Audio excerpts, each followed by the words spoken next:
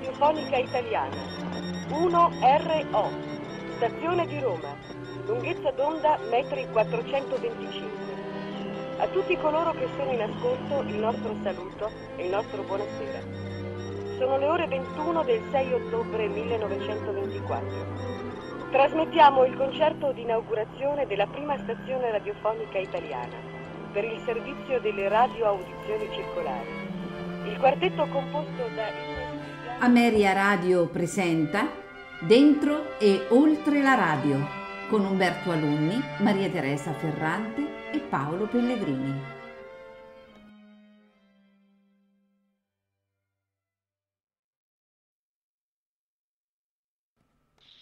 Buonasera a tutti, benvenuti a questo speciale di Dentro e Oltre Radio che eh, stasera dedichiamo insieme a Umberto che saluto. Ciao Umberto.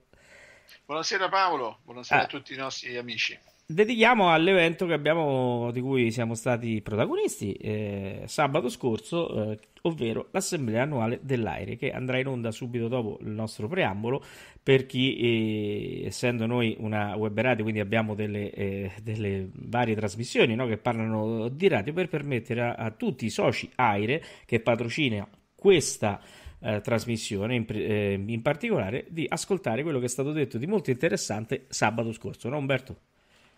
Beh sì, direi proprio di sì, insomma, tutta la, la, la cornice di, di, Villa, di, Villa, Marconi insomma, era eh, particolarmente bella, suggestiva. Noi ricordiamo che insomma, c'è stata la trasmissione eh, della nostra web radio, ma per la prima volta noi abbiamo viaggiato, oltre che insomma, in presenza, erano tre anni che non, non ci si riusciva, eh, abbiamo eh, lavorato in combinato diciamo, con una eh, radio eh, in onde medie, che è Radio Zainet del gruppo Mondragola, che ringraziamo per, per, la collaborazione perché sono stati gentilissimi, bravissimi e particolarmente utili da questo punto di vista.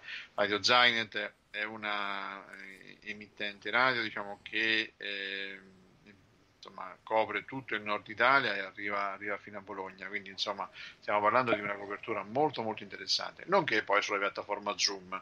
Quindi dal vivo Web Radio America Radio, eh, Radio Zainet del gruppo Mandragola e piattaforma Zoom. Io direi che insomma i nostri amici eh, associati di Aire hanno veramente avuto la possibilità di poter fare di poter scegliere il canale certo. a cui riferirsi, no Paolo? Di fare il pieno e di avere a 360 gradi, senti come siamo bravi questa sera, eh, di avere a 360 gradi eh, tutto il panorama radiofonico, dalla più no?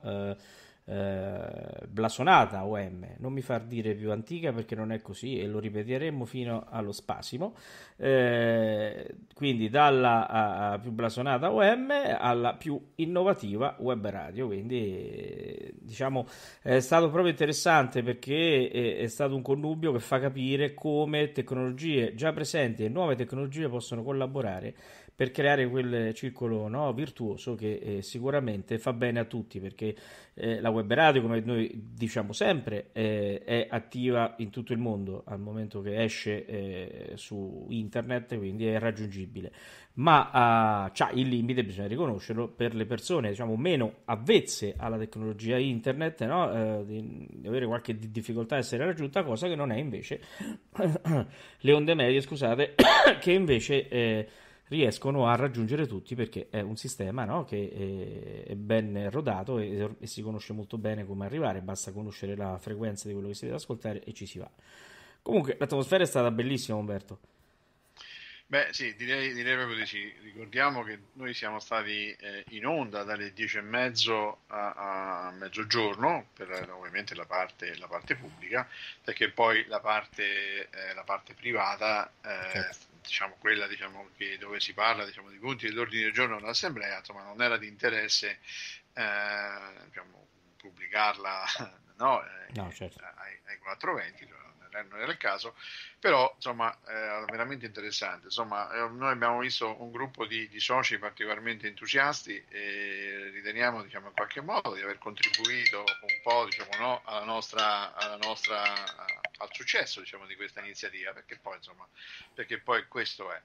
E quindi insomma noi siamo veramente contenti di aver innanzitutto essere stati lì presenti, di aver partecipato a questa, a questa bellissima manifestazione e ovviamente ci rendiamo disponibili insieme a Radio Zainet no? e magari chissà, eh, auspicando che si possano accodare altre, altre radio in onde medie con le quali abbiamo già preso, preso contatti per poter ovviamente dare il senso no, della, della, nostra associazione che è, è, viaggia tra l'innovazione e la tradizione e al centro una, l'interpolazione eh, c'è, c'è, c'è, la radio, questo bellissimo oggetto che riesce a fare tutto, che riesce a fare questi miracoli e mettere insieme tradizione e innovazione no, nel buon nome della comunicazione in senso lato. Assolutamente sì, e noi siamo andati anche a salutare il buon Guglielmo che riposa sotto Villa Marconi e l'abbiamo ringraziato per tutto questo bellissimo strumento che eh, veramente è fondamentale per la comunicazione in tutto il mondo. Bene, allora Umberto, io direi di far partire eh, l'assemblea e noi diamo appuntamento sempre con Dentro Oltre Radio a mercoledì dove continueremo il nostro bellissimo discorso con il nostro amico Carlo, vero?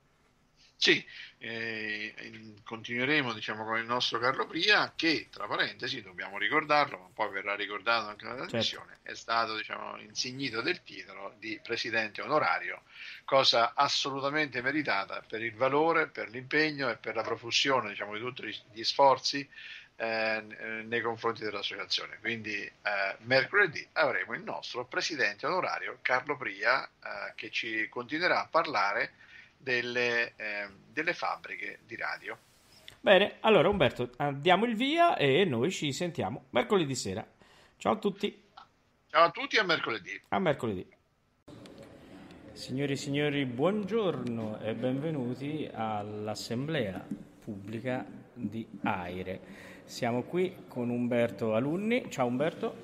Buongiorno, buongiorno a tutti i nostri ascoltatori e buongiorno, buongiorno da Bologna. Siamo in questo bellissimo posto che è la villa no? che, di Guglielmo Marconi, dove lo stesso è anche sepolto. Sì, sì, sì, un posto beh. bellissimo, tenuto molto bene, con bellissime radio in mostra. E poi diciamo che oggi c'è stato un apporto dei, dei soci Aire e quindi, e quindi ehm, ci sono anche delle bellissime, anche bellissime radio di cui abbiamo visto qualcosa, vero?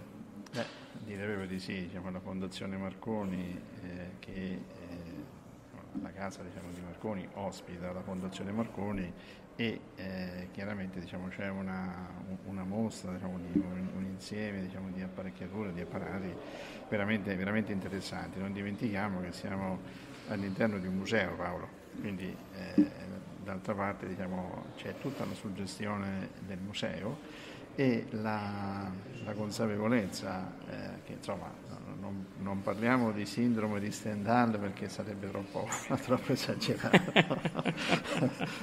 Però, però diciamo, qui è nata la radio e questa non è una cosa diciamo, da, da, tutti i giorni. Siamo diciamo, all'interno siamo il piano sotto diciamo, la stanza del mago all'interno della quale Marconi faceva i suoi esperimenti e quindi insomma siamo a 15 metri da Marconi e siamo qui, davanti c'è la collina dei Celestini, c'è una, è una giornata stupenda, meravigliosa e, e insomma abbiamo tutto, abbiamo l'aire, ricordiamo che insomma l'aire è la nostra diciamo, è vicina di casa, la nostra patrocinante, l'Associazione Italiana d'Epoca, che ovviamente fa assolutamente scopa con, con la Fondazione Marconi, insomma, con, certo. con, la quale c'è un rapporto meraviglioso. Non a caso l'assemblea pubblica e privata avviene in questo contesto, no Paolo? Assolutamente sì. Eh, senti, per chi ci sta ascoltando e che non è eh, diciamo ancora pratico, che non è conoscitore profondo della storia di Marconi, ci racconti la storia della collina dei Celestini?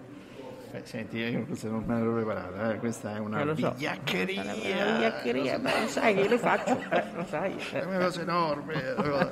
Ah, anche se cosa... eh, stamattina sono stato bravo che non ho detto nient'altro. È, è, una cosa disperata, ma se vuoi posso fare qualche, così, qualche parola d'inglese, The Cat is on the, the, the, perché questa cosa... No, no, no, a parte, a parte, le battute, ovviamente stiamo insieme a Paolo stiamo a, aspettando che inizi, che inizi, l'assemblea perché qui ovviamente c'è, c'è un gran fermento, diciamo, ci sono persone che sono arrivate da tutta Italia, questo credo che si possa assolutamente immaginare e ci vuole diciamo, un po' di tempo tecnico per, per organizzare e per mettere a, posto, mettere a, posto, le cose. Allora, eh, appena siamo arrivati abbiamo visto la collina dei Celestini, una prima cosa che praticamente ci è rimasta, ci è rimasta impressa e questa ha evocato il famoso colpo di fucile no? che eh, 1896-95 insomma, ha in qualche modo decretato l'abbrivio, l'avvio della radio, della radio vera e propria. Eh, cosa, di cosa si sta parlando? Stiamo parlando diciamo, di, una, di, una, di, una, persona tutta particolare, particolarmente schiva, che ha 20 anni, no, di 20 anni, perché Marconi è nato nel 1874 e nel 1894 all'interno della sua stanza, diciamo no, a tre metri di distanza, ha suonato un campanello e eh, a 3-4 metri di distanza praticamente eh, è, è, è, arrivato il segnale.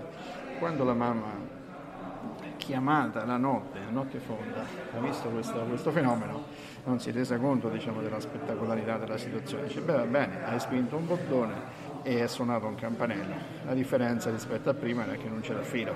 Certo. Quindi la particolarità, l'importanza, la, la, grandezza di questa cosa era che praticamente non c'era il filo.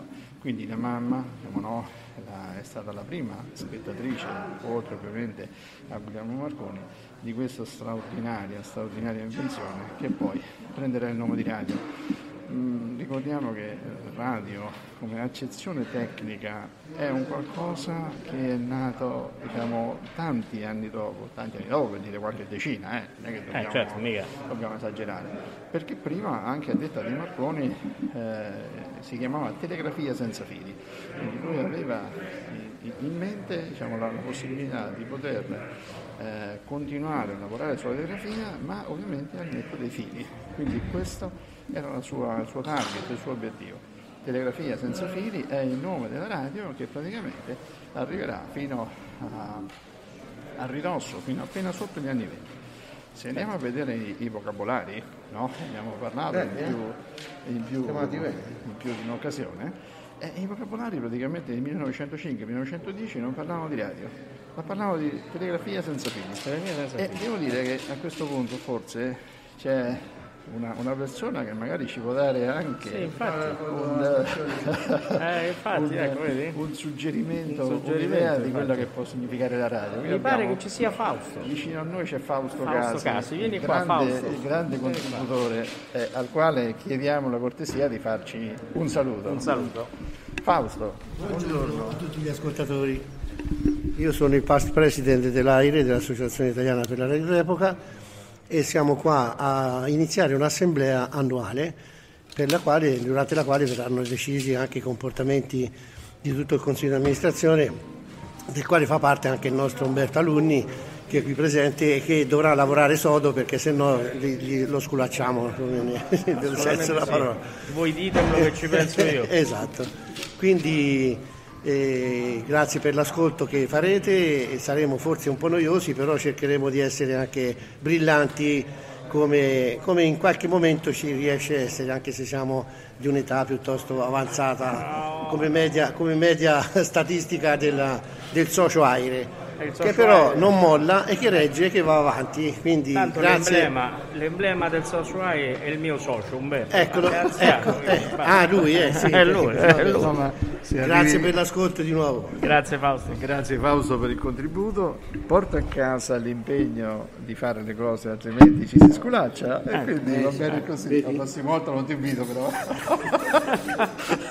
Mi pare di vedere seduto qualcuno che fa finta di non vederci, vedi? Sì, io credo di sì. Io magari se tu mi aspetti, mi aspetti un attimo lo vado a chiamare perché è, Beh, c'è sì, Roberto è D'Amore caso, che sicuramente è un abitué, capito? Possa, eh, possa darci un, contributo e gli chiediamo un saluto. Con permesso Paolo? Sì, prego, prego. Intanto mentre Umberto si avvicina al nostro prossimo ospite descriviamo un attimo l'ambientazione. Una bellissima sala dove ci sono le testimonianze di Guglielmo Marconi, un bellissimo quadro che lo ritrae davanti alla sua radio e due belli aquiloni che immagino che eh, poi chiederemo bene a Umberto che è l'esperto eh, della, della giornata eh, che penso servivano per, da antenna sicuramente, ma eh, dopo chiederemo, sono bellissimi eh, eh, appesi sulle travi, e eccolo qua, ecco qua, ecco qua, guardate qua abbiamo Umberto Passava, qualcuno, eh, eh. passava, di qua qualcuno per caso. Ecco, abbiamo un po'. Il Presidente passa per caso, un benvenuto e un saluto da parte diciamo, del nostro caro Presidente e dei nostri telespettatori.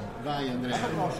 Grazie a tutti, speriamo di riuscire ad accontentare tutti anche con le, la presenza di alcuni pezzi che non sappiamo se riusciamo a farveli vedere, però ci proviamo perlomeno. Eh, cerchiamo di dare continuità a questa situazione, solo che siamo un po' in affanno perché come sempre il nostro è un ritardo scientifico, dobbiamo proprio, è sempre, no? Quindi non siamo in ritardo, eravamo trattenuti normalmente. Quindi vi, vi, passo, vi, passo, la palla perché dopo magari lo riprendiamo. Arrivederci a tutti. Grazie. Grazie Presidente, grazie. Vediamo un po' se riusciamo a recuperare un altro personaggio a noi molto caro che fa finta di non vederci, ma adesso Umberto lo sta prendendo e lo sta portando ai nostri microfoni. Vediamo, vediamo, vediamo se ci fa. Si sta alzando, ma Umberto si sta chinando. Non so qual è il motivo. Umberto si china, eh, si genuflette, forse per pregare il nostro ospite, o forse si è perso qualcosa. Signori miei, come dobbiamo fare? Umberto che si perde tutto.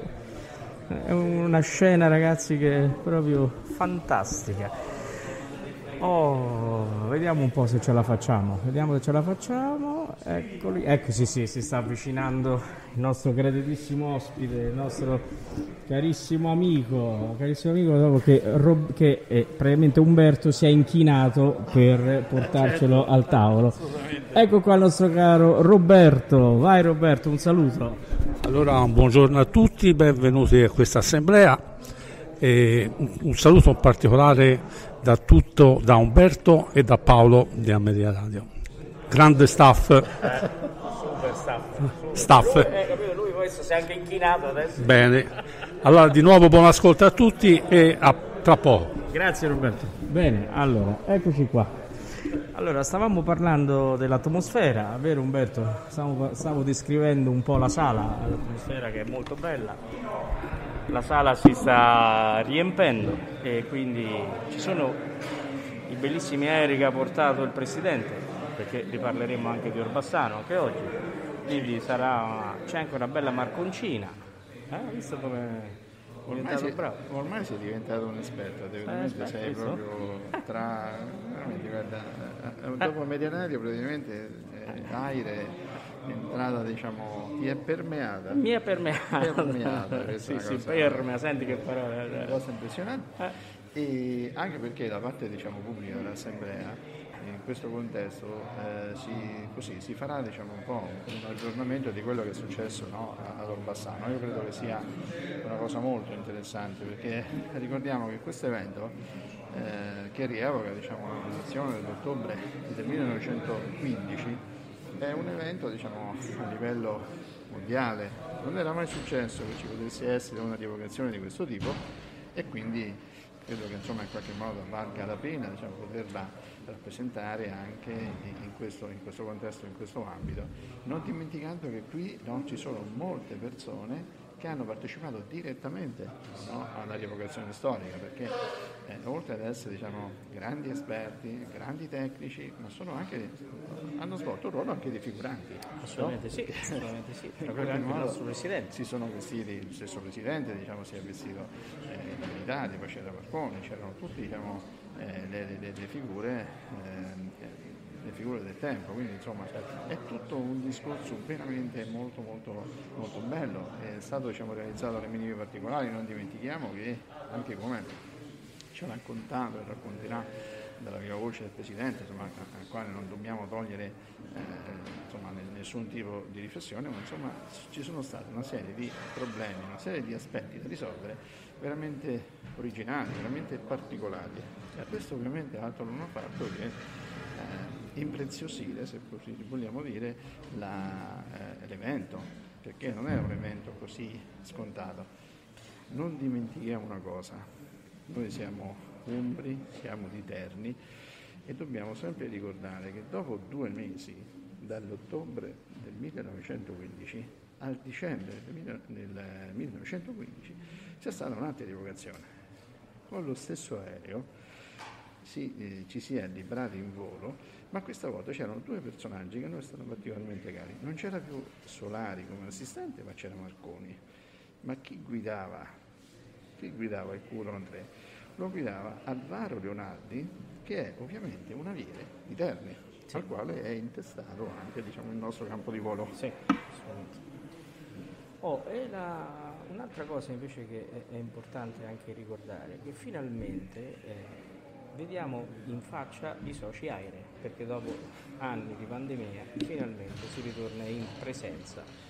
E ci sono anche collegati dalle altre sedi di aerei eh, tramite la piattaforma internet tanti altri soci, ma qui è bello rivedere i volti dei nostri amici che noi come Ameria Radio abbiamo visto tramite il nostro computer in questi giorni, in questi mesi, anzi quasi anni, eh, e, e, che finalmente conosciamo, io almeno conosciamo, conosco di persona, veramente delle persone in gambissime, appassionate, come tutte quelle che adesso vedremo anche noi, perché voi non le potete vedere, le ascoltate in radio, collegate dalle varie sedi. È eh, interessante vedere eh, che praticamente eh, praticamente ci sono anche il collegamento eh, tramite Ameria Radio eh, su una radio in OM, in onde medie, su Radio Zainet eh, gru- del gruppo Mandagola SRL che si può ascoltare sulla frequenza 693 kHz. È una cosa importante perché? Perché la nuova tecnologia, quella della web radio, a servizio di una tecnologia non vecchia, ma una tecnologia che è stata creata prima, ma che è molto importante e che speriamo che resti e non venga chiusa come si sta pensando purtroppo. La radio, la radio fa proprio queste cose, no? riesce, riesce, in qualche modo a mettere insieme cose e persone. Era un po' quello che era lo spirito di Marconi, no? risolvere diciamo, problemi, fare del bene all'umanità. Certo. E questo esempio, diciamo, questo uh, gemellaggio, questa vicinanza uh, di uh, altoparlanti no? o altisonanti come venivano chiamati all'inizio del secolo, e cioè la piattaforma Zoom alla quale ormai siamo abituati, eh, la, la, web radio diciamo, alla quale non siamo abituati, ma insomma non scherziamo, questa diciamo, è, nostra, è, il nostro mondo.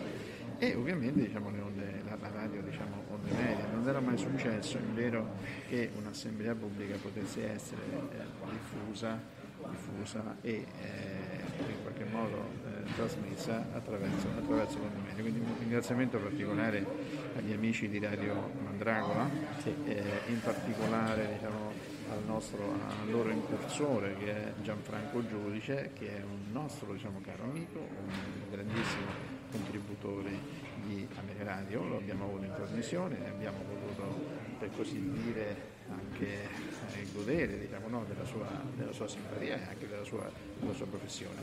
E quindi questo diciamo, è, un eh, è, un po', la storia diciamo, di, questa, questa, assemblea che si, si sta eh, prefigurando eh, come una, un elemento diciamo, di ripartenza assolutamente importante, piacevole, perché insomma altro non stiamo facendo che, che eh, provare diciamo, a contribuire alla divulgazione di un mezzo che specie in questi momenti diciamo, non sappiamo quanto sia necessario, sappiamo veramente quanto sia necessario, mette insieme gente, mette insieme le gente, mette insieme le persone, le fa discutere. Bene, io credo che si sta per iniziare, vero? Si sta quasi eh, definendo eh, l'assemblea, si stanno mettendo a posto diciamo, le persone, il presidente, il presidente è pronto e quindi vediamo un attimo. Funziona, funziona. Ecco. Buongiorno a tutti, scusate se siamo leggermente in ritardo, ma la colpa è della distanza della voglia di dormire magari mezz'ora in più, eh, capita a tutti, però non è capitato, abbiamo soltanto preso un caffè per la strada perché il uh, tragitto da Torino a qui prevede una fermata idrica per gli anzianotti, le signore, quindi portate pazienza. Comunque riusciamo a partire al meglio, tanto per cominciare a rompere il ghiaccio, io sono Ferrero Andrea, attualmente il presidente della, dell'associazione AIRE Italia, associazione quindi nazionale, che eh, voleva ovviamente darvi il benvenuto, ringraziarvi della vostra presenza, cerchiamo di essere numerosi, ma lo siamo già rispetto a quello che prevedevamo, eh, notato che effettivamente qualcosa in più abbiamo guadagnato, anche se lo spauracchio del Covid eh, qualcuno purtroppo ha desistito. Eh, non tutti hanno la voglia, il coraggio, l'età, eh, le condizioni fisiche anche di affrontare un po' queste situazioni, quindi in qualche modo comunque riusciamo ad andare avanti.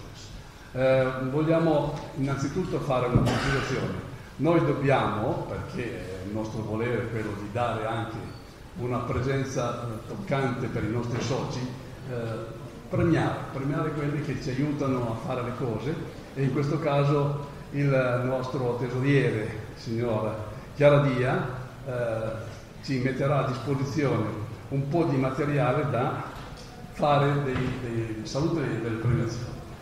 Poi andiamo avanti come questo. Questo è per toglierci subito uno dei problemi che è banale, quello di consegnare dei, degli amici. Come sei messo Pino? Gli espositori. Gli espositori, quindi chi ha eh, portato del materiale in esposizione, alzi la mano. Perfetto. Allora, per gli espositori abbiamo previsto di dare un attestato di presenza e un attestato di ringraziamento per quello che è lo sforzo da portare anche il materiale, perché molte volte sono cose piccole, ma qualche volta sono anche cose pesanti. Mi ricordo qualche anno fa che ho portato il primo televisore a specchi, eh, che effettivamente sembrava una cosa semplice, ma 80 kg in un volume che era 20 x 20 per 40 effettivamente era un blocco di cemento. Quindi anche in questo caso sono degli sforzi notevoli da fare. Però allora, direi che il primo ad essere presente con dei materiali è il nostro, il nostro presidente, eh, che è qui davanti, nonché Pria Carlo, al quale vogliamo dare un ringraziamento e io lo do a livello personale ringraziando di tutto quello che ha fatto fino adesso e che io chiaramente approfitto dei eh, lavori suoi per farli diventare miei e sperando di, di fare bella figura lui stesso, anche se non avrò la, il suo carisma, ma cercherò di tenerlo in piedi lo stesso. Grazie signor Carlo.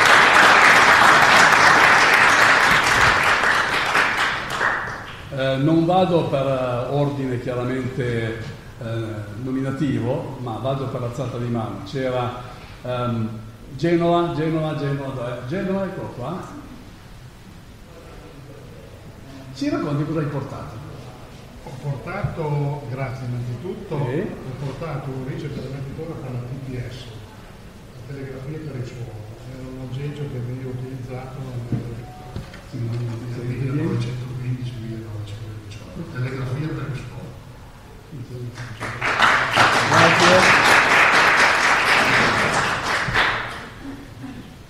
Alto espositore?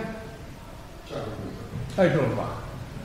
Quindi number two dei, del gruppo dei nostri eh, ragazzi, una volta li chiamavano i ragazzi del 99, adesso forse qualcosa in meno. Lo chiamiamo ragazzi di Orbassano. Ragazzi di Orbassano, ecco, uno dei ragazzi di Orbassano. Ho portato 4 BC 611, la famosa banana degli americani, sono quattro modelli diversi, tra cui il primo il primo è una rarità assoluta perché il modello A, ce ne sono in giro veramente, veramente pochissimi, è un'edizione del 42, quindi è un'occasione unica che rara a vederlo. Grazie a tutti.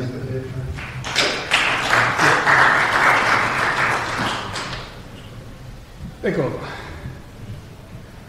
Presentati da solo, il nome non me ne ricordo. Buongiorno a tutti, mi chiamo Davide Marcelli, esordiente assoluto da, presso di voi, quindi eh, un po' di fuori degli schemi ho portato, la mia collezione è basata sul design principalmente, quindi ho portato una radio eh, della Norman del 68 che si chiama Spectra Futura, sono due modelli, e, grazie, eh, che disegnò Raymond Lewy. Raymond Lewy è eh, l'antesignale, il più famoso designer americano, quello delle streamline, delle, delle locomotive, della Coca-Cola, bottiglie, piuttosto che non il, eh, la, le Lucky Strike, eh, disegnò per normalmente questa radio che è al di fuori degli schemi e che a me piace particolarmente. Quindi grazie, grazie.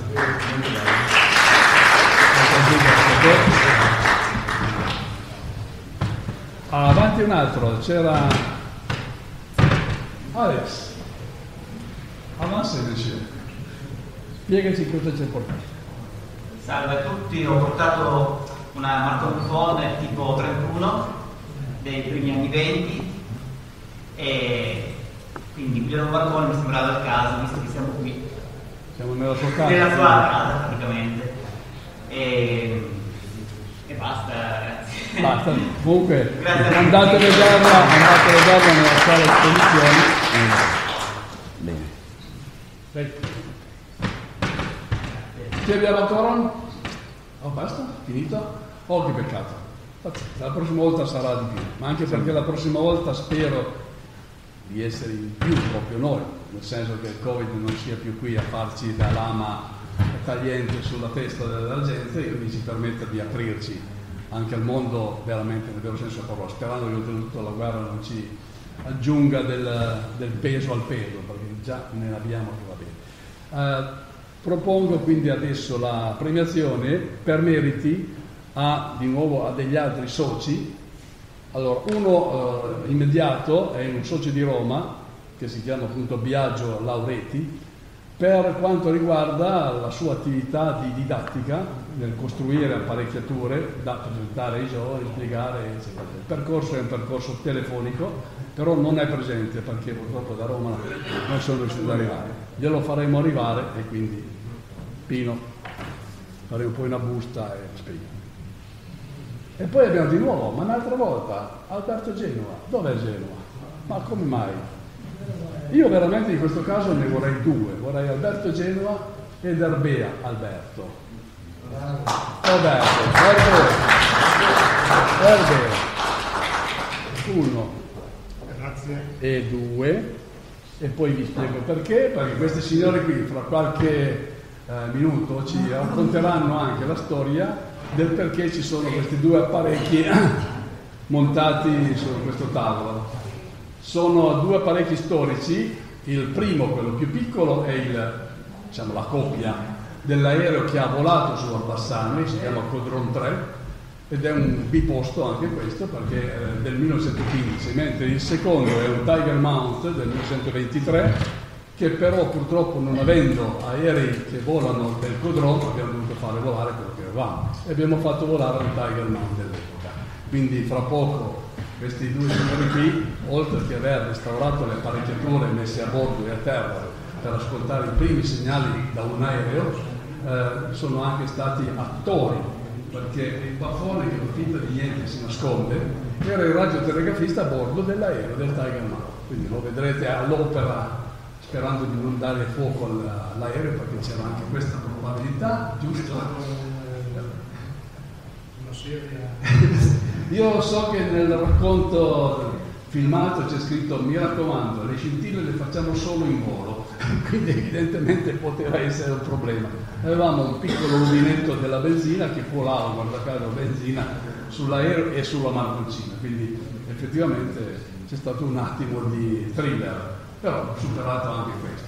Quindi sia il restauro delle apparecchiature che l'attività fatta a bordo e a terra le hanno seguite direttamente questi signori qui, investiti perché avevamo un bel di vestiti d'epoca del 1915, quindi sono anche belli, si presentano bene. Eh, grazie a tutti e due. Abbiamo da segnalare anche un'attività di un certo signore che non ricordo bene come si chiama, ma lo leggo perché è un nome strano, si chiama D'Amore Roberto. Dov'è? Dov'è D'Amore Roberto? Dov'è D'Amore Roberto? Ma guarda caso, Roberto, questo è per te. Il ringraziamento di tutto quello che hai fatto fino adesso. Grazie. Che mi sembra più che riconoscimento. Eh già, eh già, fatti vedere.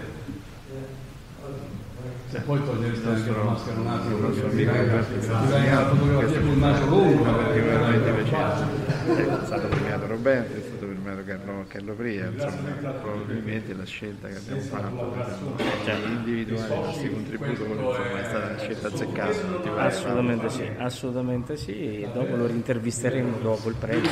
Eh certo, ci faremo pagare almeno, almeno il pranzo. Eh, cioè, minimo. Si è cercato di mettere in piedi un po' una situazione che un po' piacere, questa situazione era un po' non critica, ma insomma un po' deficitaria. Ora siamo in un momento, penso, Clou. clou. Un momento di partenza, un momento che ci deve dare di nuovo il coraggio e la forza per continuare su questa No, strada. grazie a tutti e come sono dire, viva l'aria. Grazie Roberto. Eh, Riprendo rapidamente la parola per un saluto doveroso che è la dottoressa Valotti che intravedo dietro la porta che si è nascosta, è in incognito, ci permetterà di approfittare della sua presenza e farci questi, questa entrée nella sua casa, nella sua dimora. Grazie.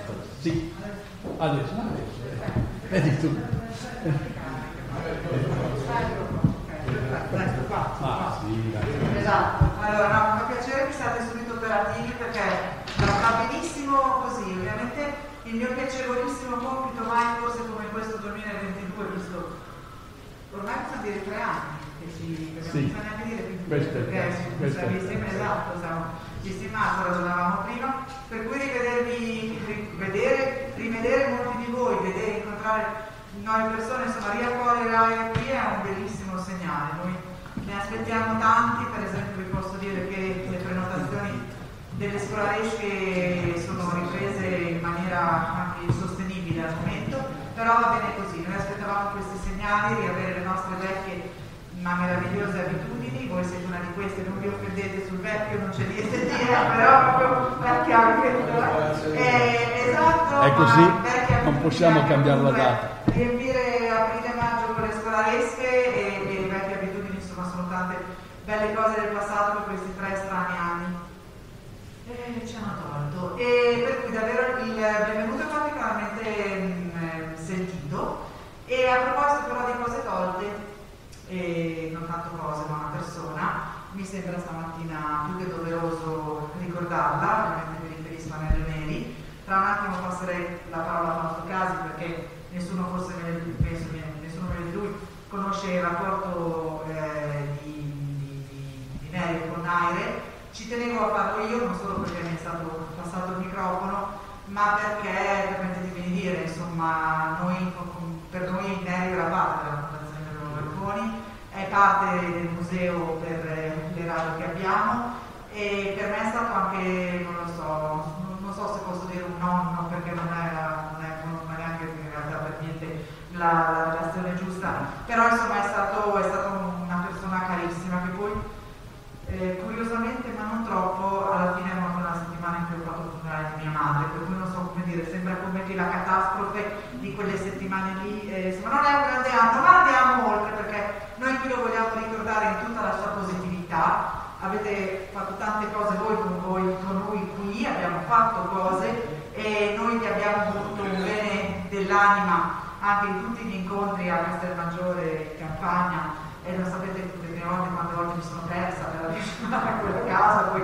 ho deciso che dovevo usare il navigatore, devo martonianamente parlando, e, ma io costino invece delle volte lo devo ricordare, e per cui insomma vi posso dire, eh, io condivido l'ultimo ricordo del Museo Marconi e della Fondazione Marconi con Dario poi ognuno di voi credo che condividerà mille ricordi nel proprio cuore, perché ovviamente questa è, la- è il vero rapporto che ognuno di voi o molti di voi hanno avuto con Nerio, poi ripeto, poi un po' più ufficialmente, ma in realtà in sostanza passerei la parola a, a Fausto. E dicevo, la- l'ultimo magnifico ricordo che abbiamo, non so se sapete che nella struttura in cui era, era possibile parlargli eh, attraverso un collegamento, per cui facemmo con Renzo Piana un collegamento, eh, noi col nostro telefonino, lui gli portavano l'iPad ovviamente della struttura e gli abbiamo fatto vedere la zona eh, delle sue radio giù. E vi posso dire che ricordo, parlava pochissimo, lo sapete benissimo, parlava più con l'espressione che con le parole, ricordo una soddisfazione nei suoi occhi che mi riuscì a fare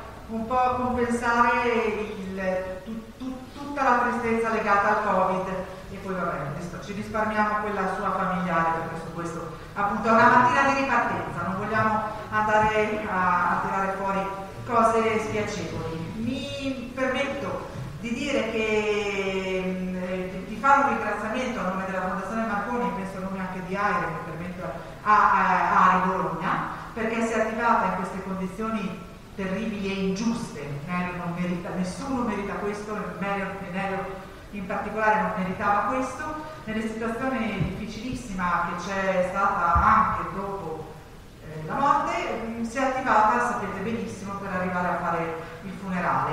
Troveremo, eh, spero tutti quanti, modo di ricordarlo, io ho promesso eh, qualche riga sul, sul, appunto, sulla rivista dell'aria, ma credo che forse dovremo tutti quanti pensare anche a qualcosa di più, non so come dire, di, ancora qualcosa di meglio, soprattutto perché, eh, e dico davvero l'ultima cosa, eh, l'altro magnifico ricordo, dicevo soprattutto perché, eh, non so vedere perché, un ricordo magnifico che ho, eh, passò di qua una volta qualche anno fa e non era, c'era un gruppo di radioamatori in visita e non mi ricordo, vi chiedo scusa per la vecchiaia mia, e per quale ragione Nerio era qui un po' sorpresa, cioè era portato da qualcuno di noi ma non era previsto che incontrasse queste persone dell'area. Io ricordo che più persone facevano dire ma quelle erano neri, ma quelle erano neri. Vi giuro che sembrava arrivata una superstar, cioè ma ve lo assicuro.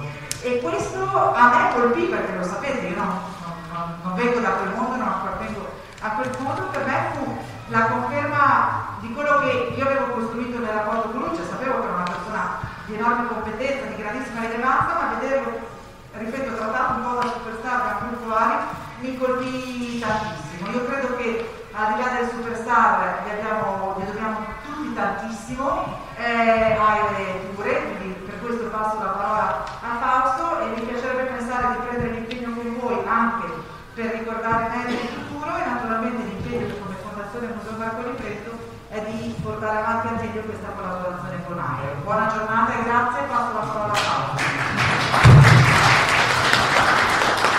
Grazie Marco complimenti per quello che hai detto, ringraziamo anche a nome di, sì, a nome anche di tutti i soci che sono anche presenti e assenti perché alcuni ci seguono anche per radio, ci seguono anche per mondo e così via. E devo dire che eh, sì, vorrei ricordare Nelly Neri per, per, per, quello che posso fare con l'intervento a braccio perché ecco, in questo con, momento eh, abbiamo presentato insieme l'AIRE nel 1990 il 13 di giugno l'abbiamo fondata a Venezio davanti al notaio e con 19 persone che eravamo tutti presenti 20 diciamo così che erano stati convocati uno che non poteva essere presente ma fu il numero 20 della, della, della, ecco, della, della schedina che tutti gli anni viene data ai soci dentro la nostra istituzione soprattutto il Nerio è, è sempre stato un entusiasta dell'area, diciamo, tant'è vero che io sono stato presidente per circa dieci anni e i secondi dieci anni da fatti Nerio e sono stato contento di questo perché con lui avevamo anche un rapporto di stima personale. Nerio è rimasto solo, quindi ci sono problemi anche pratici da questo punto di vista. E che tutte le volte che c'era bisogno di qualche cosa che Nerio Neri è una figura importantissima diciamo, per per l'AIRE. e, e, insieme a Fausto Casi che sta parlando in questo momento ne è stato l'ispiratore eh, negli anni proprio nel 1990 alla fine degli anni 80 89-90 quando si è poi realizzata eh, questa, così, questa, stupenda macchina che è l'Aire, quindi insomma, in questo momento c'è una, così, un ricordo. anche, eh, se vogliamo anche appassionato, particolarmente emotivo, di una figura che ha fatto tantissimo diciamo, per la nostra associazione. Siamo arrivati a 500-600 anche soci nella migliore diciamo, presentazione della nostra istituzione e oggi ancora siamo, devo dire, orgogliosi tutti quanti operano e lavorano perché cerchiamo di tenere la botta, prima per il Covid e sono tre anni appunto che diceva Barbara che non si faceva neanche una riunione proprio per motivi anche eh, logistici e anche diciamo così, legislativi e un po' perché eh, poi dopo ora siamo in un'altra eh, condizione piuttosto mh, diciamo così, difficile, molto difficile, che eh, fa sì che queste istituzioni culturali, scientifiche e amatoriali possano dare un momento di, di, diciamo così, di tranquillità a chi opera in questo settore eh, perché io ho sempre ritenuto un motto che il collezionista ha una marcia in più rispetto all'umanità. Questa è la mia decisione, anche perché sono collezionista sfegatato, tutti lo sapete, io ho trasmesso, ho cercato di trasmettere anche questa mia, diciamo così, malattia, tra virgolette perché non mi sento assolutamente malato, però per, di fronte a tanti altri che vedono le mie collezioni, vedono il museo dei mezzi di comunicazione con 45 collezioni di tematiche differenti una dall'altra, tutte relative ai mezzi di comunicazione, così come l'AIRE prevede nella sua, nella sua eh, veste diciamo così, di istitu- istituzionale, che è AIRE e quant'altro attiene al mondo delle telecomunicazioni, della comunicazione, per cui siamo in pieno. E la gente dice, ma questo, ma come cavolo? Cioè, insomma, eh, qui ci sono tutte le considerazioni che sono alcune positive, alcune negative, diciamo sono più quelle positive. Comunque, questo Nerio era uno di questi, collezionista era uno di questi appassionato perché non era soltanto uno studioso, diciamo così, di quello che è il tipo di, di elemento circuitario, il tipo di radio che viene prodotto, che veniva prodotto nel, nel, nel tempo storico. Era anche uno studioso, era uno, uno che ha insegnato a, a, un mondo di radioamatori, eh, diciamo, con la sua eh, diciamo, direzione della, della rivista, che voglio ricordare, anche questa è una rivista che eh, era parallela a quella dell'AIRE, perché praticamente pensate che ogni due mesi, praticamente dal 1990, da ottobre 1990, eh, l'AIRE non ha mai smesso di fare la pubblicazione.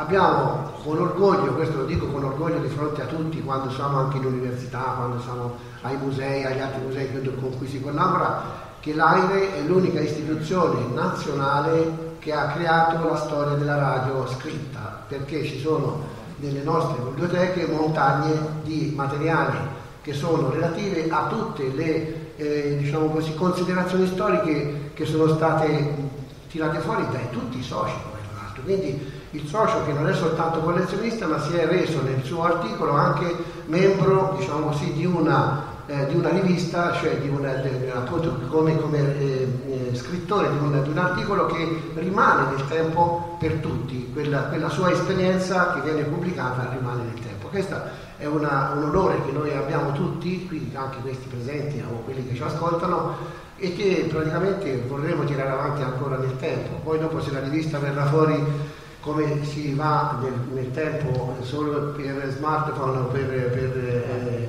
eh, diciamo così, internet oppure per ancora cartacea, questo è un problema che dovrà risolvere il Consiglio di amministrazione che da poco è stato eletto e che quindi è una delle, delle prerogative anche di cui dovranno discutere all'interno del Consiglio.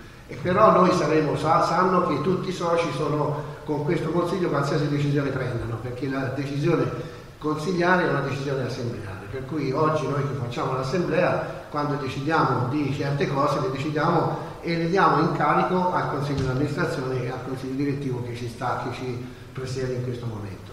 Nerio è stato uno che ha presenziato, devo dire che è stato presente in tutte le volte che c'è stato bisogno sia a livello strutturale, quindi con le grandi istituzioni come la Fondazione Marconi, di cui la Barbara ricordava prima i rapporti che, hanno, che, che sono stati tenuti fino sua, al suo decesso, diciamo così, ma anche con, eh, con le altre istituzioni associative, per cui ci sono stati i pro e i contro, i, i punti migliori dal punto di vista anche di rapporto perché eh, ognuno poi ha i suoi caratteri, le sue... ah, poi ci sono le occasioni anche che stabiliscono certe, eh, eh, certe evidenze anche eh, caratteriali che sono positive, a volte anche negative. Però prendiamo, questo fatto lo dico con estrema eh, sincerità, come se fossi un fratello di Dario Neri in questo senso diciamo, di rapporto umano, che eh, Dario ce l'ha messa tutta. Quindi ringraziamolo e io direi, eh, mi permetto di dare un minuto di silenzio questa assemblea per il ricordo di Neri, se per favore ci si può alzare e diamo Io, Fausto, vorrei aggiungere che assieme a Nerio Neri eh, ci sono altri nostri soci che vorrei cumulare assieme questo ricordo di questo minuto, perché abbiamo perso la bellezza di 23 persone dal, dal 2020 al 2021, quindi un bel, un bel numero. E quindi Comunque, ritengo sia il caso proprio di fare veramente un ricordo, un ricordo direi solenne in questo caso. Grazie a tutti.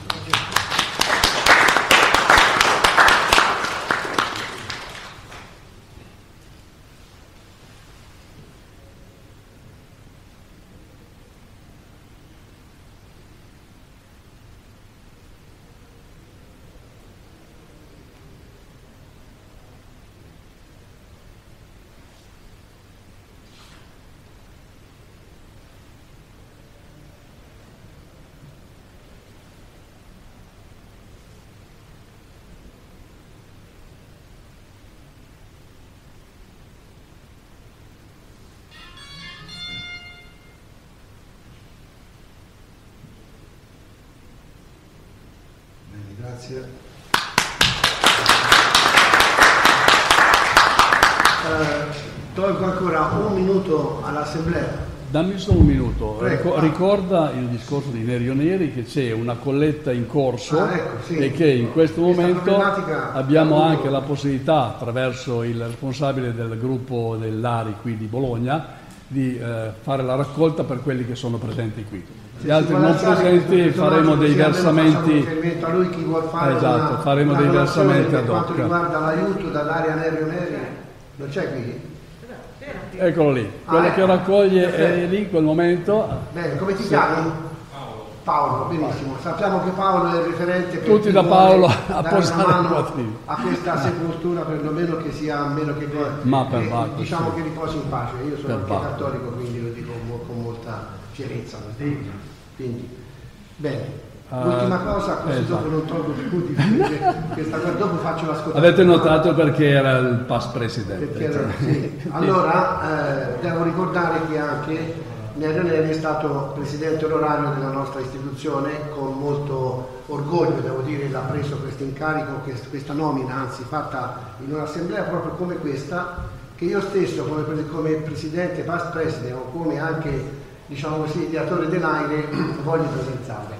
E fu accolta all'unanimità ovviamente, come fu accolta all'unanimità la prima istituzione presidenziale onoraria che era quella del nostro grande personaggio Franco Soresini. Molti di voi l'hanno conosciuto, io ero, sono stato in, in onore il suo padre, diciamo, lui è stato per me il padre putativo della sulla storia della radio, perché anche il mio primo libro, Il mondo in casa, è passato dalle sue mani prima della pubblicazione e dopo, stringendosi la mano, insomma, tutti e due si è fatto un bel lavoro. Qui siamo contenti e soddisfatti ancora oggi di questa nostra eh, riuscita, diciamo così.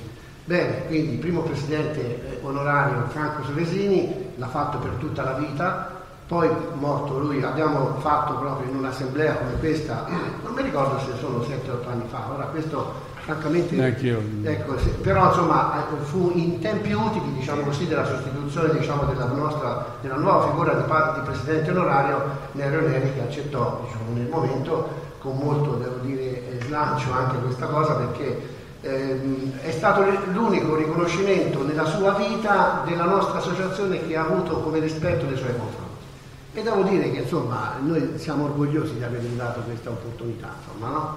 Bene, oggi io sono sempre il vecchio presidente, diciamo così, primo presidente dell'AIRE, sono ancora mandato, preso anche un pochino da altri personaggi che mi hanno eh, diciamo, ascoltato su questa cosa, Propongo quindi un'altra persona come presidente onorario dell'AIRE, perché è bene averlo questa presidenza onoraria, perché ci rappresenta o ci rappresenterà, diciamo così come può, come è stato anche nel Renere negli ultimi suoi tempi, ci rappresenterà sempre nel modo più giusto e più eh, spontaneo, diciamo così, nostre, sulle nostre problematiche, sulle nostre vittorie anche.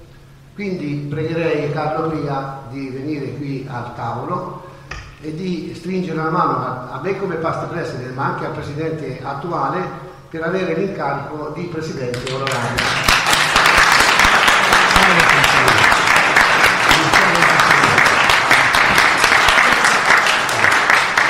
Bravo Carlo, grazie di quello che farai. Devo, grazie quindi a Carlo, devo fare una precisazione. Questa nomina deve essere assembleare, per cui è un dovere, diciamo così, di chiedere all'assemblea con un'alzata di mano l'approvazione di questa, di questa proposta. Per favore alziamo la mano chi è d'accordo. Posso votare anche se non Certo, come no, sei sempre benvenuta come associazione, come- anzi come fondazione. Bene, la passate pure. Quindi la benvenuta, quindi, passo la parola. Paolo, Allora, abbiamo veramente azzeccato, eh. abbiamo portato fortuna al nostro Carlo Pria che è stato diciamo, mercoledì scorso da noi e oggi ovviamente diciamo, il titolo di presidente onorario. Diciamolo chiaramente, chi passa per Ameria Radio avrà successi a non finire. Pensa un po' che mercoledì sera avremo il presidente onorario. Eh, in trasmissione abbiamo la seconda puntata con Carlo. Certo, certo, Lo certo. avremo, lo avremo per la prima trasmissione con noi. Ah, veramente, guarda. E quindi ce lo, ce lo gusteremo prima del presidente, della presidenza e dopo. E chi ci sta in mezzo? Ah, Ameria Radio. Eh, Direi che Barbara lasciamo il suo lavoro adesso. Di visite, di accompagnamenti e tutto il resto. Grazie, a dopo. Oh, la prima parte l'abbiamo finita? Cosa dici? Conferenza. Adesso cominciamo la conferenza. Da- parliamo di questa roba qua? O- Facciamo alla fine il bilancio, dai.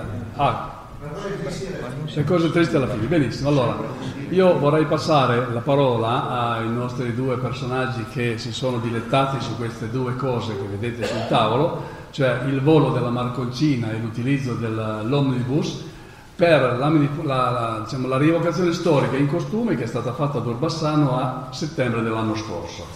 Quindi abbiamo eh, realizzato un evento completo, vale a dire restauro delle apparecchiature, ritrovamento degli aerei per poter dimostrare che queste eh, prove che Marconi faceva ad Orbassano di trasmissione da un aereo a scintilla, quindi trasmissioni telegrafiche, funzionavano nel 1915 e avevano dato dei grossi risultati. Non eravamo molto convinti di quello che si poteva ottenere perché, perché in fin dei conti eh, queste apparecchiature qui cent'anni dopo li abbiamo tirati fuori e li abbiamo messi in funzione. E funzionano, boh. Quindi l'abbiamo provato, siamo andati a casa di, di Alberto, eh, in mezzo ai prati abbiamo cominciato a sparare scintille a destra e a sinistra e da lì in avanti il racconto lo lascio ad Alberto e a Erbea. I due Alberti, venite là.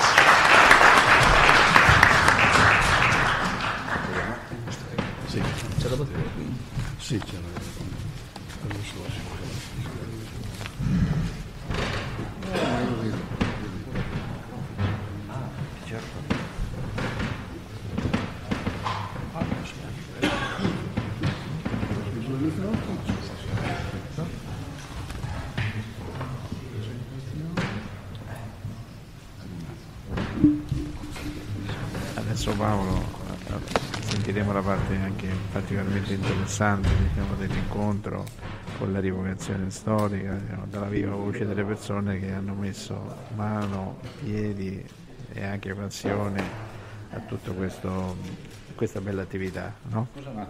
Sicuramente sì, sicuramente sì, sarà molto interessante sentire dalla loro voce la preparazione di questo evento che è stato fondamentale nell'anno di Aire. Bene, bene, bene. Ascoltiamo i nostri amici e non togliamogli tempo. radio fin dall'età di 14 anni, quando costruito il mio primo ricevitore della reazione, poi sono diventato radioamatore e poi nel 91 mi sono iscritto all'AIRE e mi sono appassionato praticamente alla storia delle radiocomunicazioni. Come voi tutti sapete, nel 1915 Guglielmo Marconi è stato arruolato nel primo reggimento dei dirigibilisti e i vertici militari compresero subito l'importanza della persona e gli diedero diversi incarichi. Tra questi gli commissionarono praticamente un trasmettitore da montare sugli aeroplani al fine di dirigere al meglio i tiri dell'artiglieria. Marconi praticamente accettò la sfida e nel settembre del 1915 eh, si recò all'aeroporto di Mirafiori, a sud di Torino, con questa scatola di legno dentro il quale c'era un trasmettitore scintilla. Eh, insieme con lui c'era il suo collaboratore, il Marchese Solano. In quel giorno eh, era disponibile solamente un aeroplano, un biplano Codron G3. Teniamo presente che i Codron furono degli aeroplani costruiti su licenza francese nello stabilimento della AER di Orbassano. Si costruirono mille aeroplani in mille giorni. E il pilota non aveva ancora ricevuto il brevetto di volo, era il caporale De Marco che vediamo qua e praticamente Marconi sistemò sul terreno il ricevitore, non c'era neppure il telegrafista, si offrì volontario il Marchese Solari, che salì sul biplano, si mise questo trasmettitore in mezzo alle gambe, si portò appresso anche una batteria per farlo funzionare. Si alzarono in volo e fecero alcuni giri sopra l'aeroporto di, di, di Mirafiori si diressero poi in direzione del Moncenisio e poi fecero ritorno. Durante tutto il tragitto eh, Marconi ricevette i segnali che venivano trasmessi da Marchese Solari. In effetti Solari non era un gran telegrafista, si limitò a trasmettere una serie di S e una serie di V. Poi ci fu l'atterraggio che fu abbastanza tragico, un po' perché quel giorno c'era forte vento e forse anche perché il pilota non aveva ancora sufficiente esperienza. Il eh, biplano piastrellò tre volte prima di, toccare il terreno e poi alla fine si piegò su un'ala rompendola. Per fortuna però nessuno si fece male. Ecco, in quel giorno praticamente fu, fu effettuata la prima trasmissione radio in Italia da un aeroplano a terra. Nei mesi successivi Guglielmo Marconi poi eh, realizzò produsse diciamo, questo trasmettitore in versione definitiva e date le sue piccole dimensioni questo, questo aggeggio era, fu chiamato la marconcina, che è esattamente come quello scatolino che c'è lì prima del nostro biplano. Il 18 e 19 settembre del 2021, dopo ben 106 anni, eh, i soci dell'AIRE Piemonte, in collaborazione con la Prorocco di Orbassano, hanno rievocato particolare per la storia della radio.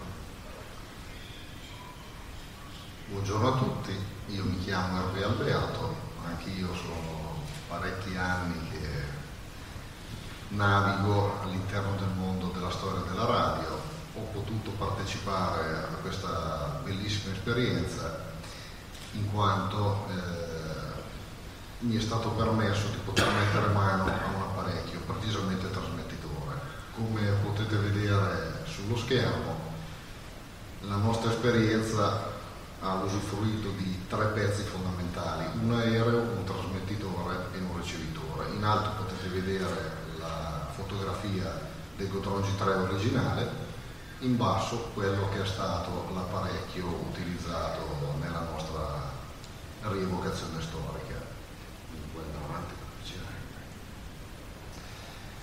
Io ho operato espressamente nel restauro del trasmettitore che aveva alcuni difetti dato il suo, il suo secolo di vita. È stata un'esperienza bellissima perché comunque mi ha permesso di poter toccare e godere di un'apparecchiatura incredibile. Sono stati fatti alcuni restauri soprattutto alla parte di alta tensione qui potete vedere come funziona se riesci mi fai lo slide. Lo scaricatore tipo italiano ha parecchi dischi si possono inserire da 3 a 5 dischi per cambiare la voce del trasmettitore. Pur mantenendo la frequenza si cambia il gracchiare che si sente in cuffia. Per cui si potevano avere tre trasmettitori sulla stessa frequenza e l'operatore poteva capire qual era che stesse parlando questo invece è il ricevitore, abbiamo utilizzato un ricevitore della Marconi Wireless del 1912, il ricevitore Omnibus, è un classico ricevitore Marconi, qui, qui c'è l'ingresso dell'antenna, questi il commutatore per, la, per, la, per inserire il, la, la bobina d'antenna antenna in serie abbiamo il condensatore variabile. Questo è il circuito primario che è collegato poi al circuito eh, secondario tramite questo variometro e tramite il pomello esterno che lo fa muovere. La rilevazione è fatta o con il diodo di Fleming, questa è una fedele riproduzione di Alberto, oppure col cristallo di carbonio, questo. E noi abbiamo utilizzato logicamente il cristallo di carbonio perché non avevamo un diodo di Fleming funzionante. Questo è il potenziometro per la polarizzazione del cristallo di carbonio e questo è potenziometro per la, l'accensione del diodo di Fleming. Ecco, qui si vede l'interno del ricevitore, la riparazione di, di, di questi oggetti che hanno cent'anni eh, in alcuni casi è estremamente difficile. I fili sono, sono di rame, sono ricoperti di una gomma che con il tempo è diventata secca, quindi appena la si tocca si spacca. Eh, il condensatore variabile in questo caso anche lui era bloccato, insomma abbiamo tribolato parecchio, però alla fine ci siamo riusciti. Ora, prima di montare questi, questi, queste apparecchiature sul nostro biplano, abbiamo voluto provarle in un campo di sperimentazione. In un campo di sperimentazione. Qui siamo a Camasco, sopra Varano Sesia, a un'altezza di 850 metri, qui in fondo vedete il Monte Rosa. Eh, qui ho una piccola baita che abbiamo usato come punto d'appoggio e avevamo a disposizione tutta una serie di plati con i quali non davamo fastidio a nessuno e nessuno ci disturbava. Questa è la planimetria, il paesino di Camasco, il ricevitore era piazzato qua, una prima prova è stata fatta a 300 metri di distanza e poi la seconda, l'ultima a 1400 metri di distanza. Però abbiamo anche in questo caso simulato la, il movimento del, del biplano perché praticamente ci siamo anche alzati di circa 300 metri. Quindi avevamo sostanzialmente eh, utilizzato le condizioni che avremmo poi utilizzato durante, durante il volo. Allora, come ha già detto Alberto, prima di essere sicuri che tutto funzionasse fatto queste prove, abbiamo allestito un primo campo base. La curiosità eh, che potete vedere qua in basso è questo bidone blu Sarebbe stato molto comodo piantare un paletto di terra, ma l'aeroplano il paletto di terra non ce l'ha. Quindi ci siamo inventati una massa fittizia con dei tappetini isolanti ad altissima tensione che teoricamente simulava la, la poca massa metallica dell'aeroplano. Abbiamo fatto il primo allestimento con una long wire di 30 metri che equivaleva al, al filo che si sarebbe dovuto rotolare al di sotto dell'aereo e ci siamo lanciati nelle, nelle prime trasmissioni. Ecco, questo invece è il nostro ricevitore omnibus piazzato su un tavolino ai piedi della, di un'altra long wire, in questo caso di 50 metri di lunghezza. Abbiamo voluto esagerare in modo da riuscire ad avere un guadagno in, nel segnale, perché teniamo presente che il, ricevitore dell'OMS alla fine non è un ricevitore amplificato, è sostanzialmente un ricevitore a cristallo di carbonio. Qui abbiamo voluto guardare con un analizzatore di spettro la larghezza di banda e effettivamente comparando ai moderni trasmettitori ci siamo abbastanza eh, spaventati. E qui siamo alla fine della giornata di prove e questa è la, è la mascotte che tutto il giorno ci ha fatto Arriviamo adesso al, al, al, biplano. Noi abbiamo cercato dei Codron G3, ma purtroppo non siamo riusciti, cioè siamo riusciti a trovarli, ma non siamo riusciti ad averli in prestito. Per cui abbiamo ripiegato su questo biplano il The Eviland Tiger Mont, è un biplano biposto da addestramento è stato progettato in Inghilterra nel 1930 e poi prodotto in eh, larga scala dal 1932 al 1952. È il biplano che praticamente era utilizzato da tutti i piloti della RAF. Era il primo biplano che veniva utilizzato per cioè, futuro pilota doveva prima, il primo impatto lo doveva fare su questo biplano, che a detta del proprietario, che è un ingegnere aerospaziale, Spaziale di Torino, il signor Cappavaro Gustavo, che tra l'altro suo nonno era un pilota della prima guerra mondiale.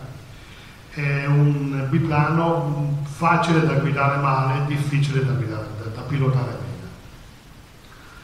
Problema, ah no scusate, vi do due, due parametri, è un motore, questo biplano ha motore a cilindri raffreddato d'acqua, 4 cilindri, 3500 di cilindrata, eh, 130 cavalli, 120 km all'ora di velocità massima.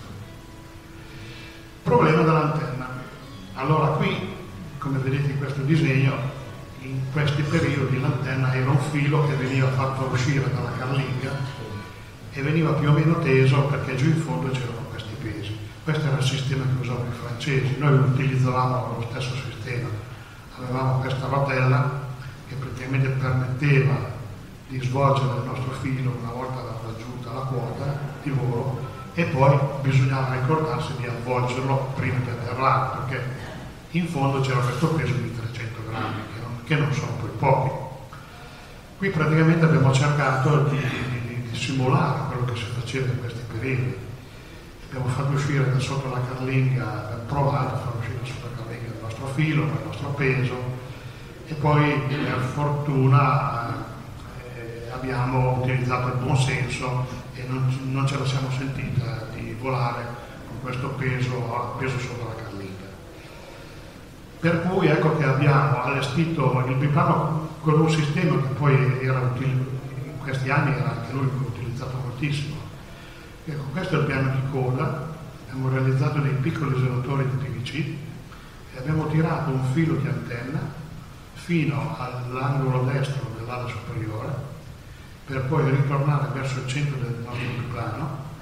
Tenete presente che questo è il serbatoio della benzina, quindi come vedete ci siamo tenuti a una debita distanza onde evitare di avere dei problemi più grossi. Qui abbiamo infilato il nostro filo d'antenna in questo tubo di plastica e l'abbiamo fatto entrare. La stessa cosa l'abbiamo fatta sul lato sinistro. Quindi in pratica abbiamo ottenuto un dipolo a T diciamo.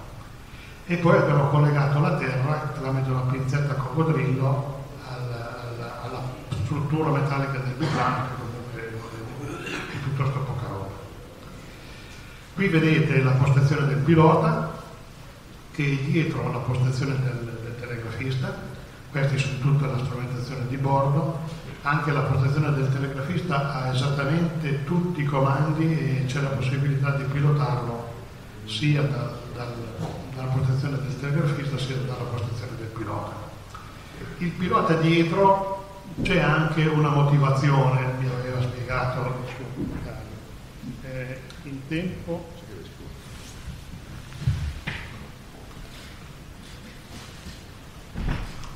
Sì, eh, dicevamo che in tempo di, di, di quando il piano veniva utilizzato e il militare che era davanti si lasciava prendere dal panico e voleva utilizzare la cloche per fare atterrare l'aeroplano, il pilota si alzava i piedi da dietro, lo prendeva per il collo e lo tirava, tanto che gli dava la volta in testa se serviva.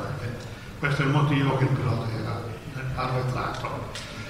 Questa è la cintura di sicurezza perfettamente eh, come originale è molto molto rude, molto particolare, però vi assicuro che una volta allacciata uno da lì non si muove più neanche di mezzo centimetro.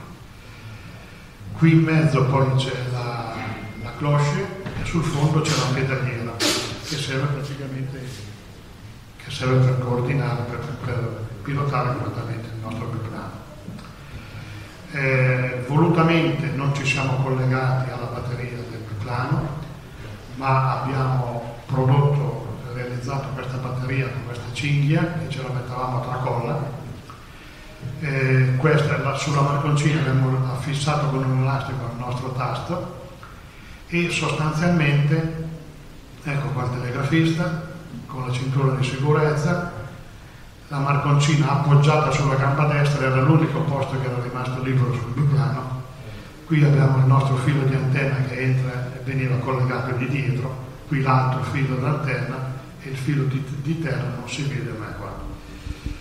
Eh, purtroppo a volte durante l'uso eh, si stava così raccontando un po' diciamo, l'esperienza eh, Bassano, noi eh, cominciamo a salutare diciamo, alcuni nostri amici, in particolare diciamo, gli amici diciamo, di, di, Radio Mandragola, diciamo, di Radio Zainet perché ovviamente per ragioni e per motivi di palinsesto possono trasmettere fino a mezzogiorno. Quindi noi riteniamo che questo esperimento, no, Paolo, sia stata una cosa interessante e speriamo che questo possa aprire eh, la possibilità di, di, esperienze del genere anche nel futuro.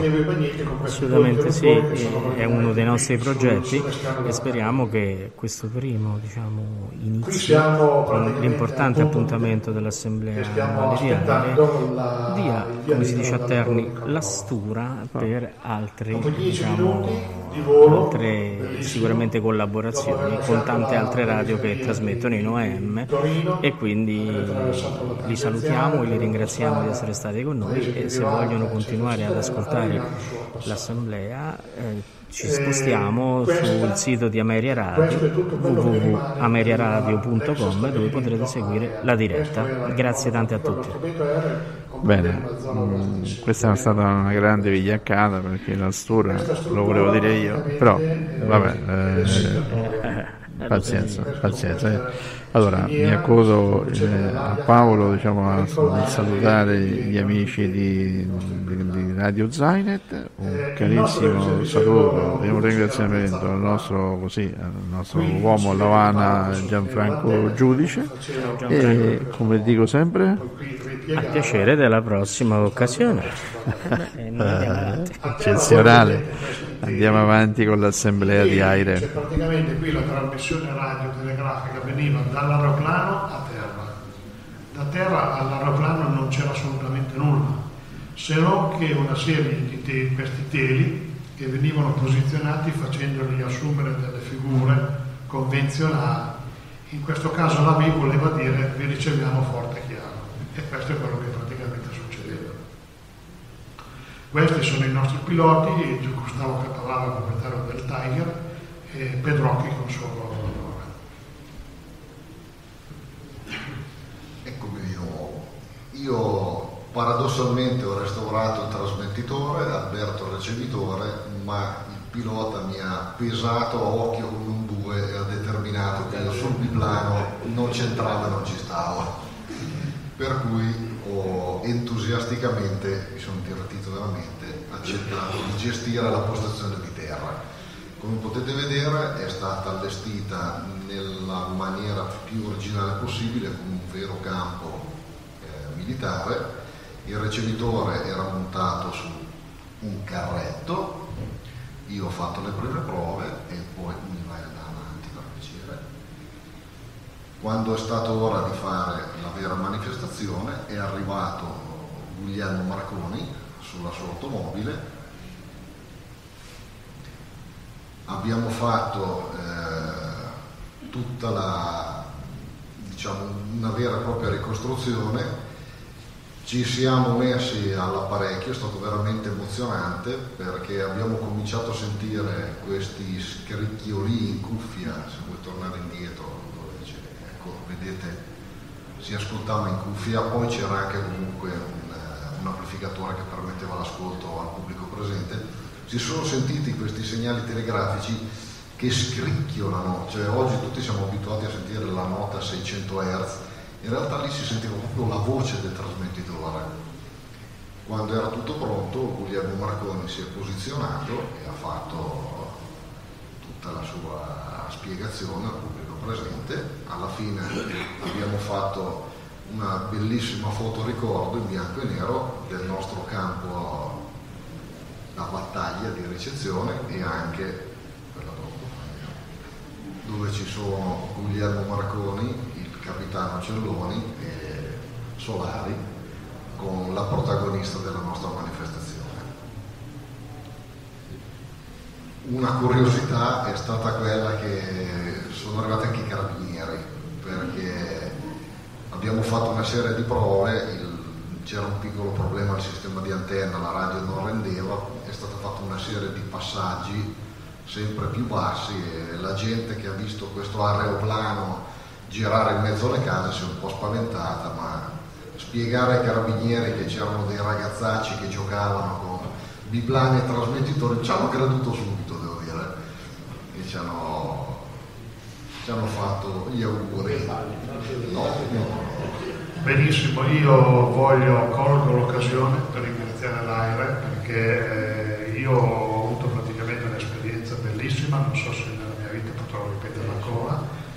Eh, ringrazio l'AIRE per l'opportunità che mi ha dato di poter salire su un biplano, di fare tutte queste prove, di restaurare fare il telegrafista, di bruciarmi le dita e parecchie altre cose dobbiamo ringraziare anche la RAI perché non l'abbiamo detto prima, ma i due apparecchi ci sono stati dati in concessione d'uso dalla RAI dalla direzione di Torino. E ringrazio poi tutti gli altri soci dell'AI del Piemonte che ci hanno collaborato in questa bellissima divulgazione. Eh, questo vuole anche essere un invito a fare qualche altra, un'altra rievocazione stiamo già pensando e lavorando su, in alcuni campi, al momento è tutto qualcosa di piuttosto segreto, vi faremo sapere più tardi. Grazie a tutti per la vostra attenzione. Adesso vi facciamo vedere un piccolissimo filmato eh, che dobbiamo dire grazie al nostro socio Claudio Girivetto, che ha realizzato dei filmati estremamente belli e soprattutto ha utilizzato una telecamera veramente fantastica che ha permesso di riprendere durante il volo delle immagini bellissime. Volevo soltanto approfittare per salutare Radio Zai che eh, sta per chiudere il collegamento, i nostri amici di Ameria Radio sono praticamente legati a tutta una serie di informazioni che vengono date appunto in diretta come Zoom che è uno delle, dei sistemi classici che vengono utilizzati appunto per questa conferenza in diretta via, via internet. Quindi in questo caso grazie a Radio Zai, eh, speriamo di rivederci presto e di risentirci presto.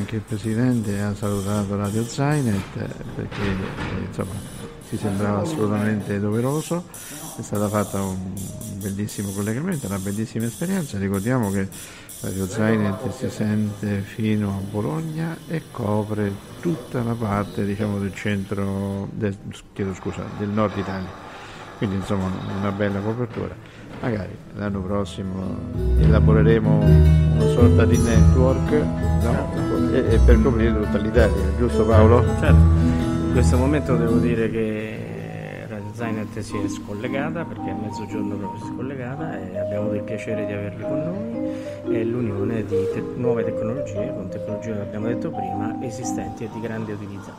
State andando onda un filmato dove si fa vedere la preparazione di Orbassani. Ecco, ecco le prove, sentite il rumore della scintilla dentro la marconcina, no? Sì, sì, sì, ovviamente come giustamente si dicevano diciamo, i nostri amici, bisogna fare delle, delle, prove, simulare attraverso, comunque insomma vicino a Torino c'è la fortuna delle montagne, quindi c'è la possibilità diciamo, di simulare le varie altezze ma questo non basta perché bisogna simulare tante, tante altre cose che eh, chiaramente mettono in condizione eh, di verificare la possibilità di eh, trasmettere dall'aereo eh, a, a terra. E d'altra parte come così, solo per ricordare quello che è stato detto dai nostri amici, i problemi non erano, non erano pochi stava ragionando su una struttura veicolare particolarmente leggera e che cozzava un po' con, eh, con, il discorso di una radio. La marconcina da sola pesa 16 kg, quindi bisognava metterla in mezzo alle gambe perché non c'era una postazione, un alloggio per le radio. Quindi quel povero disgraziato di Solari a suo tempo e chi poi in qualche modo ha, ha, lo ha emulato si è dovuto un po' sacrificare, insomma, ecco.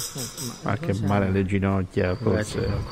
La cosa che mi fa impressione è questa antenna lunghissima, la sto vedendo che per tenerla dico, vedo tutti tiranti, hanno fatto un lavorone devo dire, in queste prove che stiamo vedendo no, di comunicazione.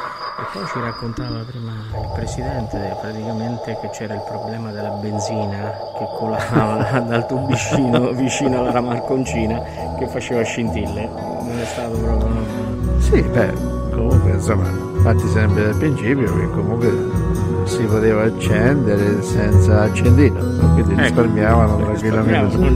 Certo. Avrebbero fatto oltre una trasmissione audio anche quella visiva, una bella, bella bomba botta. luminosa e anche audio. Beh, devo dire che insomma questo si sta mettendo le mani su, eh, su apparati, cioè uno dei quali stava da, insomma, al museo, della, museo delle Rai di Torino, che erano decenni ammantato da oblio polvere, oh, senti che, che romanticismo. Mamma mia, ecco.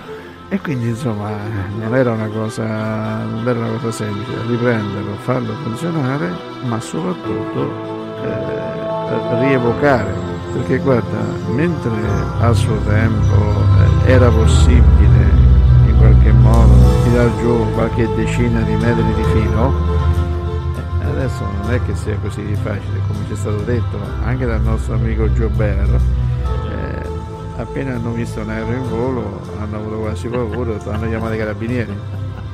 Oh, considera che insomma erano state richieste tutte le autorizzazioni. certo, certo. perché insomma non è che si stanno eh, si, si, mettono aerei in volo senza così senza dire niente. Però, però la, situazione, la situazione era quella adesso si sta vedendo la vestizione del pilota che ha la martoncina sulle ginocchia.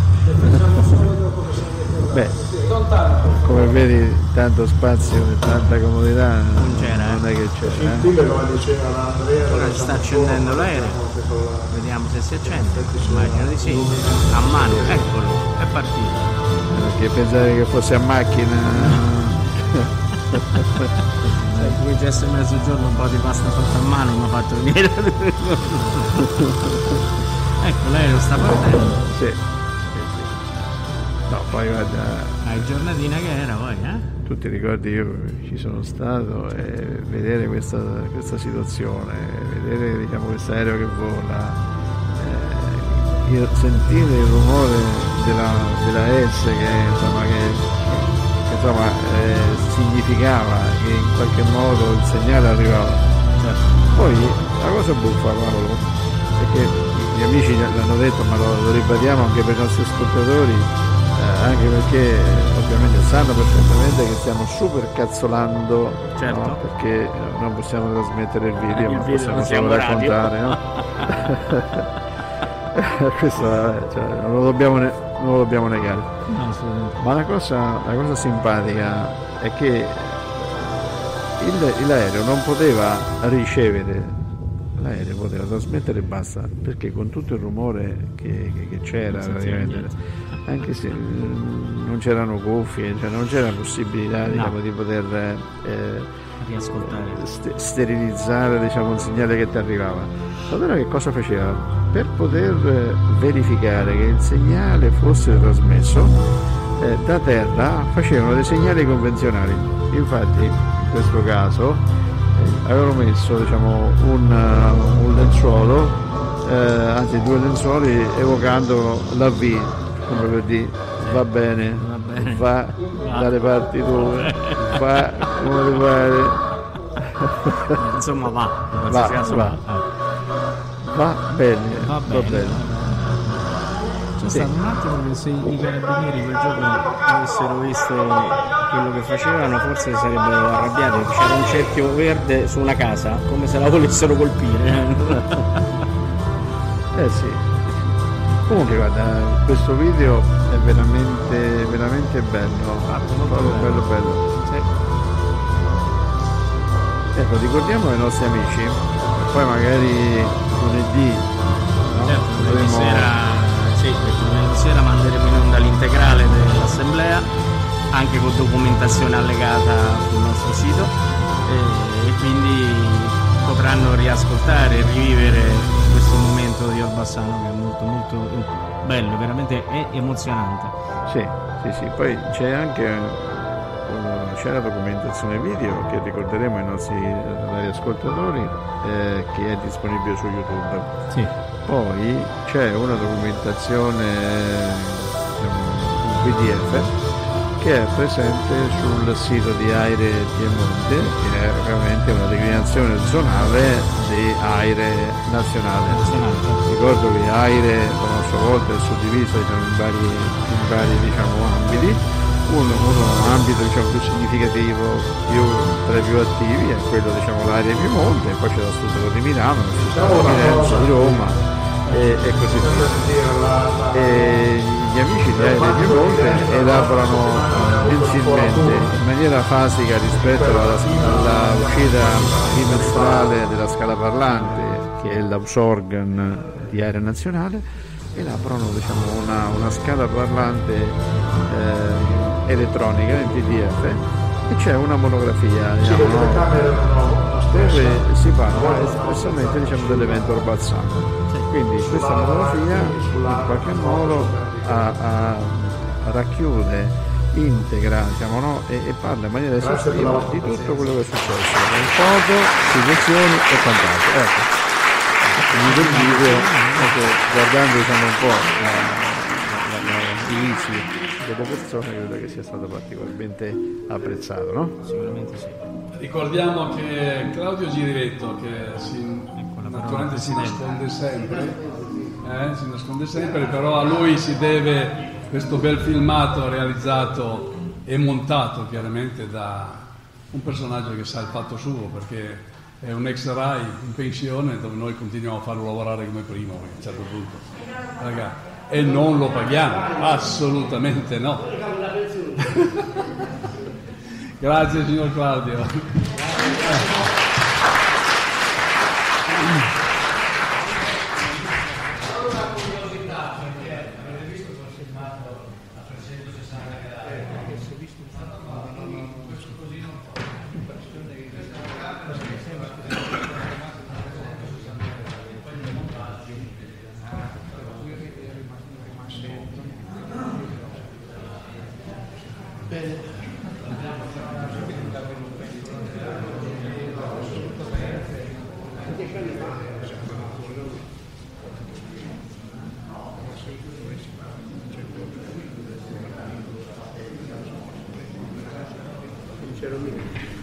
Bene, allora la parte pubblica è, È terminata. Noi eh, chiudiamo, chiudiamo il collegamento, adesso inizierà la parte privata che credo sia di nostri Signori, grazie per aver ascoltato questo racconto arrivederci a lunedì sera. Lunedì sera, lunedì sera, e quindi che è il piacere della prossima Prossima occasione. occasione, bene.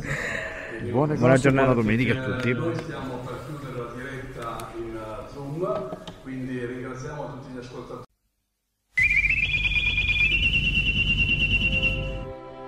URI, Unione Radiofonica Italiana, 1RO, stazione di Roma, lunghezza d'onda metri 425.